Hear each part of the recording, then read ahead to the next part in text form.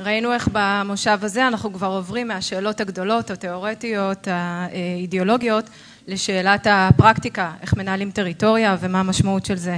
אני רוצה להציג את פרופסור יוסי יוסף זעירא, שהוא פרופסור לכלכלה באוניברסיטה העברית בירושלים ומשמש כנשיא האגודה הישראלית לכלכלה, ביקר במשך השנים באוניברסיטאות רבות בחו"ל, נזכיר רק את הרווארד ו-MIT, אבל אני מבינה שהיו עוד רבות.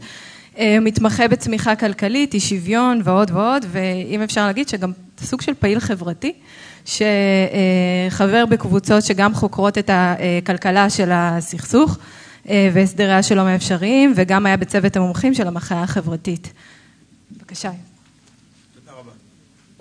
אבל אני אציג נתונים קצת יותר מעודכנים מה שבספר, כי אני עובד עכשיו על הגרסה האנגלית של הספר, אז הנתונים שאני אציג יהיו עד 2018. ולכן הגרף הזה הוא קצת שונה מהגרף בספר, אבל לא בהרבה. עכשיו, אלה הם ההוצאות הביטחון, זאת הערה אחת. ההערה השנייה היא הערה הבאה. המחקר הקודם שהתפרסם בנושא של עלויות הביטחון או עלויות הסכסוך, בעצם נכתב בערך בשנת 1983 על ידי פרופסור לכלכלה מהאוניברסיטה הזאת, אוניברסיטת תל אביב, ששמו היה איתן ברגלס, עליו השלום, הוא נפטר מאוחר יותר בשנות התשעים. איתן ברגלס כתב מחקר שהופיע בספר של יורם בן פורת, שבו הוא פירט בנוסף להוצאות הפורמליות הרשמיות של הביטחון, גם הוצאות ועלויות נוספות. בעצם המחקר שלי בנושא הזה התחיל מניסיון לעדכן את המאמר של ברגלס לימינו. והיה צורך בעדכון כי הרבה אלמנטים מוסדיים השתנו וגם התווסף לנו הרבה ידע כלכלי שאפשר לנו לחשב דברים שאיתן עליו השלום לא חישב אותם בזמנו. אז אבל אני רוצה להזכיר שביסודו של דבר זה מבוסס על, זה, זה, זה סוג של עבודת המשך למחקר של איתן ברגלס.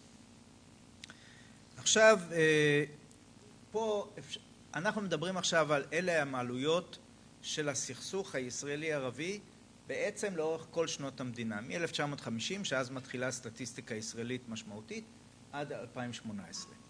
תשימו לב לתופעה מעניינת אחת, הסכסוך עבר שינויים דרמטיים, כלומר בעצם עד 1948 הסכסוך הישראלי-ערבי היה בעצם סכסוך ישראלי-פלסטיני בלבד ובעצם הוא היה סכסוך אתני שמתנהל ברמה של מיליציות. כמובן זה עבר שינוי דרמטי ב-1948 עקב פלישת ארצות ערב ובעצם זה היה, הפך להיות סכסוך מדינתי צבאי קונבנציונלי שלכן יש לו עלויות מאוד גבוהות אם הוא פורץ. כלומר ברגע שפורץ סכסוך זה עולה הרבה מאוד. אתם יכולים לראות לזה כמה דוגמאות. קודם כל 1956 תראו את הקפיצה האדירה בעלויות. מה? ממש פיק. כמובן שאחרי זה זה יורד כי אז ארצות הברית הצטרפה לברית המועצות בדרישה לישראל לסגת מסיני. ב-67 תשימו לב קפיצה נוספת אבל הפעם זה לא יורד כי ישראל לא נסוגה מהשטחים ולכן יש מיד זה גורר אחריו עוד סכסוכים משמעותיים מלחמת ההתשה, מלחמת יום כיפור שאז העלויות האלה מגיעות ללמעלה מ-30% מהתוצר שזה גבוה מאוד. מתי זה מתחיל לרדת? תשימו לב פחות או יותר מ-1980 אנחנו רואים ירידה די דרמטית. יש פה ושם קפיצות בייחוד בשנים שיש ייבוא של מטוסים וכולי אבל בסך הכל זה בירידה דרמטית. ההוצאות המקומיות הן הרבה יותר גמישות ולמה זה קורה? זה הסכם השלום עם מצרים. הסכם השלום עם מצרים בעצם סיים את שלב הסכסוך הקונבנציונלי הבין מדינתי והחזיר אותנו לסכסוך האתני ישראלי פלסטיני כשברור אחרי הסכם השלום עם מצרים שמדינות ערב לא יכולות להקים קואליציה צבאית נגד ישראל. זה חקרתי גם במחקרים אחרים עם מישל סטרפצ'ינסקי מבנק ישראל שהראינו את זה גם בצורות נוספות אחרות שצה"ל פשוט הפסיק להתרגש מצבאות ערב הוא לא מגיב בכלל לשינויים בהוצאות הצבאיות שלהם מפני שאין בעצם ראייה של סיכון מלחמתי קונבנציונלי, והסכסוך הישראלי-פלסטיני יש לו עלות נמוכה מאוד. ולכן אתם רואים שאנחנו מגיעים בסוף לרמה של בסביבות 6% מהתוצר, שזה הרמה כיום. שאר ההרצאה שלי אני אתמקד על עלויות והוצאות נוספות. אבל ההוצאה של תקציב הביטחון גריידא היא יחסית נמוכה. עכשיו אני רוצה רק להבהיר, מה שכתוב פה זה לא בדיוק תקציב הביטחון שמתפרסם כל שנה, כי בתחילת השנה כשיוצא תקציב הביטחון הוא לא כולל נתח גדול מאוד של הוצאות השב"כ, מוסד וכולי, שזה מוסיפים בישיבות סודיות בוועדת הכספים במהלך השנה, זה מוסיף בערך כעשרה מיליארד שקל, קצת יותר, קצת יותר בסביבות אחוז תוצר. זאת אומרת, פה זה כבר חישובים של הלמ"ס אקס פוסט לאחר מעשה בסוף כל שנה, כמה היו הוצאות הביטחון באותה שנה, זה כולל שב"כ מוסד.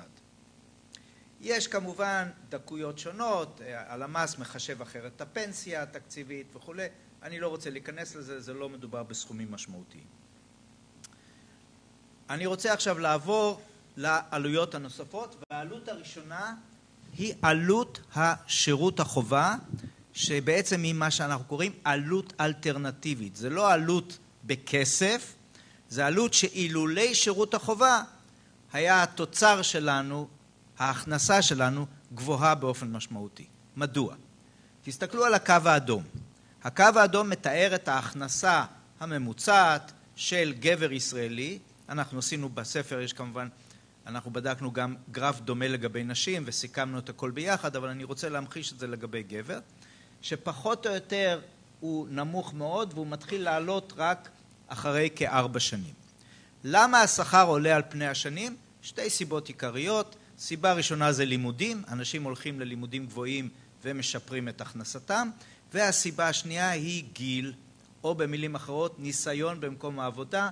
אנשים צוברים ניסיון, אנשים עוברים מעבודה לעבודה ומשפרים את אה, שיבוצם, ולכן ההכנסה גדלה בצורה די משמעותית, תשימו לב, מסביבות 4,000 לרמה של כמעט 14,000. כל זה בנתונים של 2011, מבוסס על סקר ההכנסות של 2011. מה זה הקו הירוק? זה אותו הקו מוזז שמאלה לגיל 18. כלומר, תניחו לרגע אחד שכל הצעירים הישראלים הללו גרים בארצות הברית ולא הולכים לצבא, אז הם מתחילים את זה.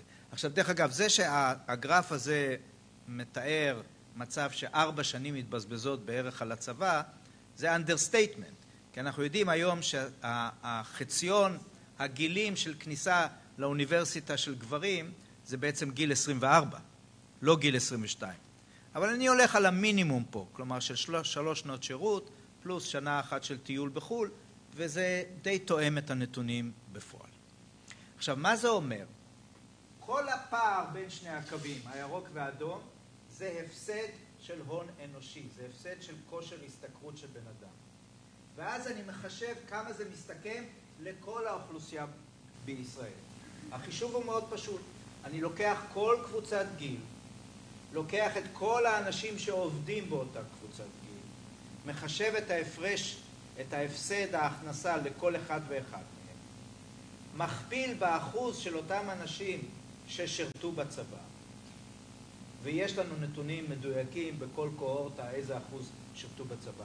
אני עושה גם תיקונים שמביאים בחשבון פרישה מהצבא לאחר שנה, לאחר שנתיים, לאחר שלוש. יש לנו נתונים על שיעורי הפרישה מהשירות, של גברים זה בערך בסביבות חמישה אחוזים, נשים זה קצת אחרת. כל הנתונים האלה נותנים לנו חישוב די מדויק, שמסתכם במספר מאוד מאוד מרשים. רבותיי, תסתכלו על הרובריק, על השורה השנייה. השורה הראשונה, הכל זה בנתוני 2011, זה ההכנ... ההוצאה הצבאית הפורמלית על תקציב, על הוצאות הביטחון. השורה השנייה זה הפסד תוצר כתוצאה משירות חובה. זה 53 מיליארד שקל בנתוני 2011, ומה שיותר מעניין אותנו מבחינה השוואתית באחוזי תוצר זה 5.7 אחוזי תוצר. רבותיי, המספר הזה הבעיט גם את בנימין נתניהו. בזכות המספר הזה אני, היו לי פגישות עם המזכיר הצבאי שלו, עם ראש אכ"א ועם עוד אנשים, ואני יודע שמשרד האוצר עובד קשה בגלל זה לנסות לצמצם את משך השירות כמה שיותר. עכשיו, יש גם הפסד קטן נוסף שהוא רק 0.4 אחוזי תוצר, שהוא נובע כתוצאה מזה שהחיילים משתכרים משכורת סופר נמוכה, שאפילו לא שווה את העלות האלטרנטיבית שלהם בשוק העבודה, בלי השכלה ובלי שום הון אנושי. אבל זה, זה באמת מספר קטן. ויש פה כמובן עלויות רבות נוספות, שהן לא מופיעות בדרך כלל, מכל מיני סיבות. חלק מהן לא מופיעות כי הן לא משולמות על ידי המדינה.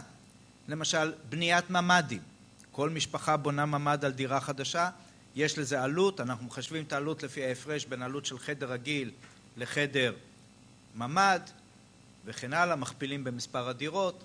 יש עלות של מאבטחים, יש עלויות של אלטרנטיביות של קרקע, הצבא לא משלם שכר דירה על הקרקעות ועשינו איזה אומדן סופר מינימלי של העלות הזאת וכן הלאה וכן הלאה.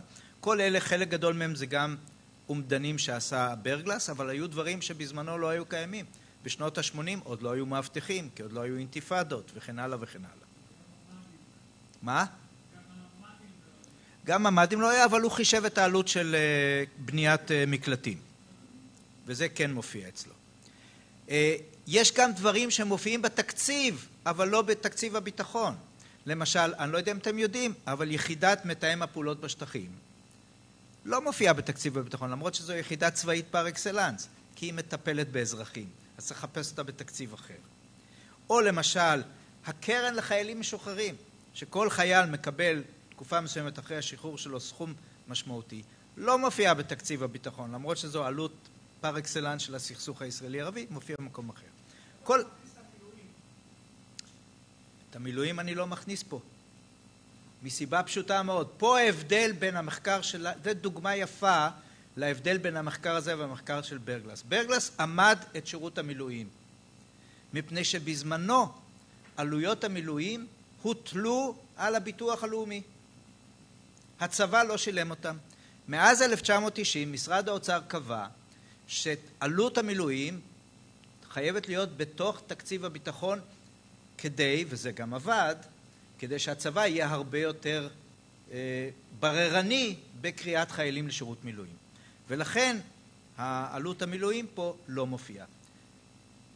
זה לא אומר שאין עלויות נוספות. תראה, היום אנשים לא עושים הרבה מילואים, אבל בשנות ה-80 וה-70 כמות האנשים ששירתו במילואים הייתה אדירה וכתוצאה מזה חברות נקלעו לקשיים והממשלה הגדילה מאוד את הסבסוד של המגזר העסקי שהגיע כמעט לעשרה אחוזי תוצר. על זה אני מדבר במקום אחר בספר. אבל פה אני מדבר כבר בימינו אנו ברמת הסכסוך כפי שהיום. אוקיי. מה? אני לא, ברור, כי היה סכסוך קונבנציונלי בין צבאות, ועכשיו הסכסוך הרבה יותר זול. עדיין, רבותיי, עדיין כל הסעיפים האלה, תשימו לב מה זה אומר, גם הסעיפים הללו מגדילים, מכפילים את הוצאות הביטחון פי שניים. כלומר, אם העלות של הוצאות הביטחון זה רק קרוב ל-7%, 6.7% תוצר, יחד עם העלויות הנוספות אנחנו כבר מקבלים 14 אחוזי תוצר. עכשיו זה נכון שחלק מזה לא רואים בעין. העלות של ההון האנושי זה שהיינו יכולים לייצר יותר אם היינו, אם לא היה סכסוך. עכשיו רבותיי, אני יודע שכולכם תבואו ותגידו לי, אוקיי, אבל עדיין, גם אם יהיה שלום, יהיה שירות סדיר. אז עשיתי חישוב גס, נניח ששירות סדיר זה אומר שכל חייל וכל חיילת משרתים שנה. דרך אגב, זה לא רחוק מהיעד שקבע משרד הביטחון של שנתיים, אה, משרד האוצר, סליחה, משרד הביטחון עוד לא מסכים. אבל גם אם משרתים שנה, אז העלות של ההון האנושי תהיה 1.4 אחוז. עדיין ההפרש בין 1.4 אחוז ו-5.7 אחוז זה 4.3 אחוז, זה המון. עכשיו, יש עוד שתי עלויות נוספות, שאחת אני אציג לכם מיד, ואחת אני לא אציג. העלות שאני לא אציג היא העלות במחזורי העסקים, בתנודות, או ליתר דיוק, בכניסה למיתונים. מאז שהסכסוך עבר מסכסוך צבאי קונבנציונלי לסכסוך בין שתי קבוצות אתניות, יש הרבה יותר מיתונים. כל אחד יזכור את הרשימה, אני סוקר את זה באריכות בספר שלי, וזה נובע מזה שבעוד שמלחמות קונבנציונליות הגדילו את הביקושים במשק, בגלל הביקוש להוצאות צבאיות, ולכן הוציאו את המשק ממיתון, כמו למשל ב-67'. הרי שהאינתיפאדות, בגלל שהן יוצרות דמורליזציה בין משקיעים וכולי, הן יוצרות דווקא מיתונים, כמו המיתון שהיה בשנות האינתיפאדה השנייה, המיתון שהתחיל אחרי האינתיפאדה הראשונה ב-89' ונחלצנו ממנו כתוצאה מגל העלייה מחבר העמים וכולי. אני לא מרחיב בעניין הזה כי יש מסמך מאוד מפורט של מכון ראנד שמחשב בדיוק את העלות של מיתונים אפשריים כאלה. אני לא מכניס את זה לחישובים האלה כי בחישובים שלי אני מתאר רק עלויות שיש לנו מדי שנה בשנה. ואני לא רציתי להיכנס לספקולציות של מה הסיכוי שבשנה מסוימת תהיה אינתיפאדה, לא יהיה אינתיפאדה. השארתי את זה בחוץ, כתבתי על זה, אבל לא חישבתי את זה. אבל יש עוד, עוד דבר אחד שאני רוצה להציג בפניכם, שהוא עלות נוספת. כמה זמן יש לי? אני אספיק. וזה קשור לדיון הישראלי הנמרץ, שכל אחד ודאי שומע עליו מדי פעם, וזה למה פריון העבודה בישראל כל כך נמוך. עכשיו הגרף הזה מסביר את זה. בגרף הזה מתואר הפריון העבודה, זה בדולרים לשעת עבודה, שזה בעצם תוצר לשעת עבודה. הקו הכחול זה ישראל והקו האדום זה ארצות הברית. בלי להיכנס ליותר מדי פירוט, אנחנו רואים שאין לנו בעיה של קצב גידול של הפריון. הפריון שלנו ושל הברית גדלים בצורה מקבילה, רוב התקופה. הבעיה היא הפער, יש פער של כ-40 אחוז. והשאלה היא ממה הוא נובע. אז שמענו הרבה סיפורים על אה, אה, בירוקרטיה ורגולציה, ובקיצור, כל אחד שיש לו אינטרס תוקע את השני גרוש שלו בעניין. אבל יש הסבר אחד, יש קודם כל הסבר אחד למה קורה לפריון אחרי 93, שזה מאוד פשוט, זה העלייה מחבר העמים. העולים מחבר העמים, כמו כל מהגר בכל ארץ אחרת בעולם, מאבדים כ-50 עד 70 אחוז מההון האנושי שלהם ברגע ההגירה. הם לא יודעים את השפה, הם צריכים למצוא מקומות עבודה, הטכנולוגיה זה לא אותה טכנולוגיה, וזה כבר הוריד את הפריון בכמה אחוזים. זה דבר אחד. אז תתקנו את ה-40 אחוז, זה כבר לא 40 אחוז, אלא 30 וכמה אחוז. ועכשיו אני רוצה לדבר על עוד הפרש ברמה של 26 אחוז פחות מארצות הברית, שנובע מזה... לא, זה פריון זה כמה תוצר, זה... החישוב פה הוא יותר מדויק ממה שבדרך כלל בוויכוח הציבורי, כי בוויכוח הציבורי מדברים על כלל התוצר. פה זה לא כלל התוצר, זה רק תוצר במגזר העסקי, שהוא נמדד היטב ומוגדר היטב. כי המגזר הציבורי אתה לא יודע בכלל מה הפריון, כי אתה מחשב את הכל לפי מחירי עלות. שלא לדבר על חישובים של שירותי דיור, שזה בכלל פצ'קרה אחד גדול. מגזר עסקי פר שעת עבודה במגזר העסקי. זה בדיוק תוצר לשעת עבודה. עכשיו, הגרף הבא מתאר את היחס בין ההון לתוצר. היחס בין ההון לתוצר מלמד אותנו כמה עתירת הון ישראל. ואנחנו רואים שבסך הכל היחס הון תוצר בישראל נמוך בצורה דרמטית מהיחס הון תוצר בארצות הברית. תגידו תודה שלא השוויתי ליפן, שם זה עוד הרבה יותר גבוה. בישראל היחס הון תוצר במגזר העסקי הוא בערך 1. בארצות הברית זה בערך 1.6. פער כזה כשלעצמו מסביר הפרש של 26% ברמת הפריון העבודה, תוצר לעובד. זאת אומרת, התוצר לעובד בישראל נמוך ב-26% מזה של ארה"ב, כתוצאה מזה שיש לנו פחות הון. שהמשקיעים שלנו משקיעים כמות קטנה יותר של הון. עכשיו תשאלו למה. אני מצטער, אבל אני חייב נוסחה. אבל תאמינו לי, היא תהיה מאוד פשוטה.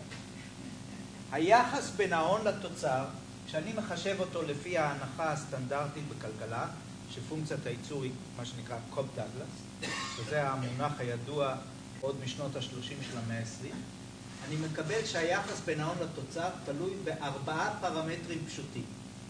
אלפא למעלה, שתכף אני אסביר מה זה, מחולק ב-R ועוד D ועוד B. מה זה אלפא? אלפא זה הגמישות של הייצור ביחס להון. זה גודל שהוא, או בעצם אפשר למדוד אותו כחלק של ההון בתוצר, שזה בערך שליש. לאורך הרבה מדינות, לאורך הרבה תקופות, זה בסביבות שליש. R זה שער הריבית הריאלי. 2 אחוז, 3 אחוזים. לא היום, היום זה הרבה יותר נמוך, אבל בגדול זה מה שזה. D זה שיעור הפחת, depreciation. זה בערך בסביבות 8, 9, 10 אחוזים, משהו כזה. ו-P זה פרמיית סיכון, זה משהו נוסף. אם בישראל היחס הזה בין שליש לבין כל מה שלמטה זה שווה אחד, אז זה אומר שהפרמיית סיכון אצלנו היא משהו כמו 23 אחוז. בארצות הברית זה משהו כמו 12 אחוז, כי היחס הוא 1.6. מה זה קשור לעלות הביטחון? חכה בסבלנות, קבל תשובה. מה זה פי? פי זה פרמיית סיכון. זה רמת הסיכון שהמשקיעים רואים מול עיניהם.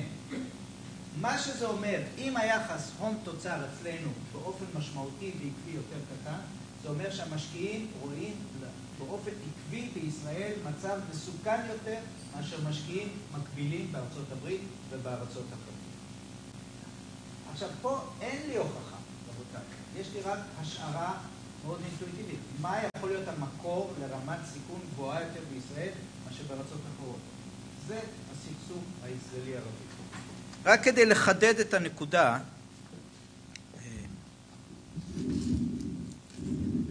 איפה ה... אוקיי, בסדר, הכל בסדר. תשימו לב שישראל עד 67' היה לה יחס הון תוצר קצת יותר גבוה, 1.2. אחרי זה ירדנו לאחד. זאת אומרת, יש משהו בדברים האלה. תשימו לב לארצות הברית. ארצות הברית היה לה 1.4, ואז בסוף שנות ה-60, תחילת שנות ה-70, זה עולה ל-1.6. גם לארצות הברית הייתה פעם מלחמה. שנייה, כל מה שאני אומר זה של הסכסוך, עכשיו דרך אגב אני מודד גם את התועלות של הסכסוך חולה, אבל אני מוצא שבסך הכל הן נמוכות יחסית ולכן אני חושב שבסיכום אני יכול לומר שלסכסוך הישראלי-ערבי, ואני מוסיף את העלות הזאת כעלות נוספת, למרות שזה לא עם פלומבה מוחלטת, אבל זה בסיכון ברמה סבירה מאוד קשור לזה, אני חושב שיש לו עלות של למעלה מ-30 אחוזי תוצר. זאת אומרת שישראל הייתה יכולה להגדיל את הכנסתה באופן משמעותי ואת רמת החיים ביותר מ-30 אחוז תוצר, אם היינו מוצאים איזושהי דרך לא רק לנהל את הסכסוך, אלא לפחות להגיע להסכם. תודה רבה.